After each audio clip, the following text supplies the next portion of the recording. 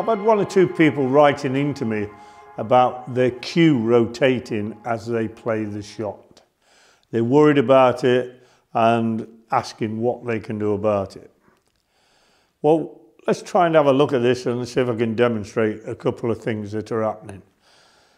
Firstly, I'll come to my cue before anybody picks me up on it. Manufacturers, well, good manufacturers at least, will have the chevrons of an ash cue on the top and they're always in line with the nameplate of a cue. Now, before anybody picks me up on my cue, they'll notice that the chevrons and the nameplate are not in line. Over the years, the joint here, this soft brass metal, has worn away slightly, right? And the chevrons and the nameplate are not quite in line. You'll see that uh, on some of the shots that I demonstrate. It doesn't really matter. It doesn't bother me in the slightest. Okay, so that's point one. Now we come back to the rotation.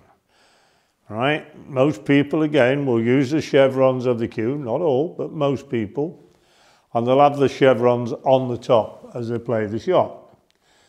Whilst they're going backwards and forwards, they will notice very slight rotation of the cue.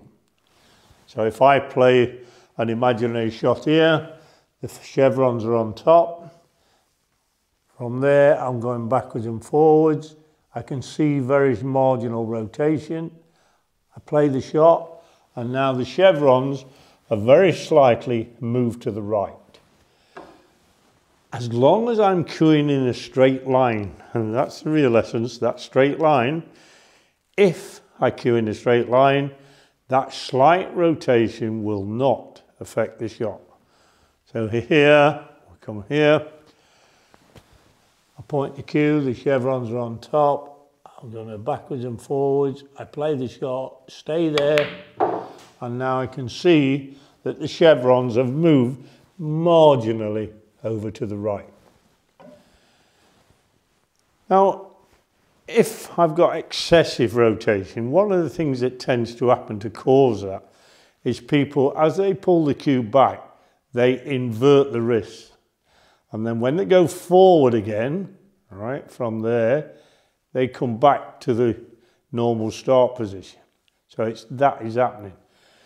Well, that's obviously going to cause some excessive rotation and that may be a problem. But the other side of that, because they're doing that business and then coming back, the butt of the cue is getting flung out to the right.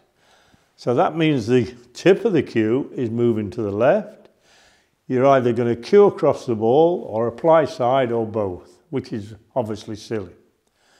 So from there, don't worry too much if it's only slight rotation it will not affect the shot.